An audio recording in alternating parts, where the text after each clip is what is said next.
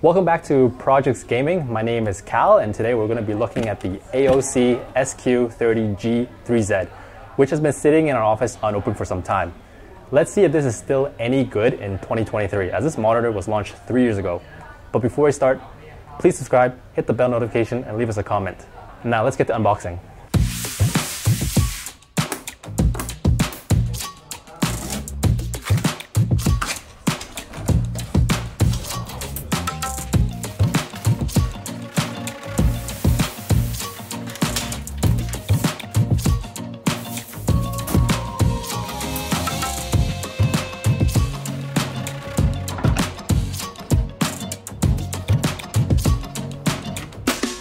Okay guys, let's go over the specs. It's a 30 inch display. The curvature of the screen is 1500R.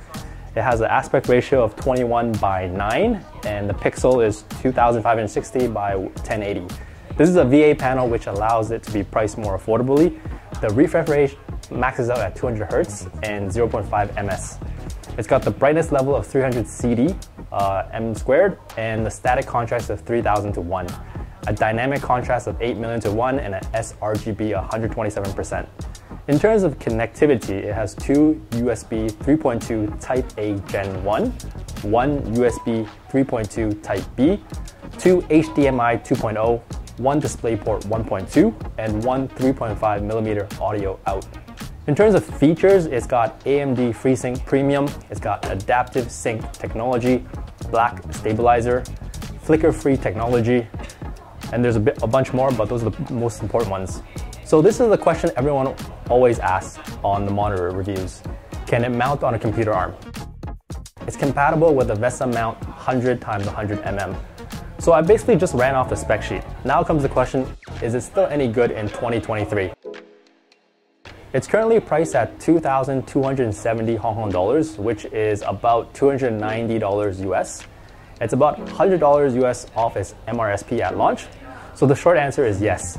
It will be hard to find something similar at this price point.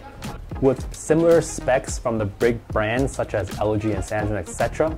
But if you're okay with lesser known brands such as Sceptre, Adecco, then there's some competition in this uh, space. Personally, I prefer AOC over the lesser known brands, but that's only because we don't have personal experience with these lesser known brands and we can't really comment too much on it. And one of the big drawbacks of this monitor is the red accents, which doesn't fit into our aesthetics. But if you're running a red setup, then I guess it's okay. And that's about it. That's a wrap for this uh, review, and we'll see you guys in the next one.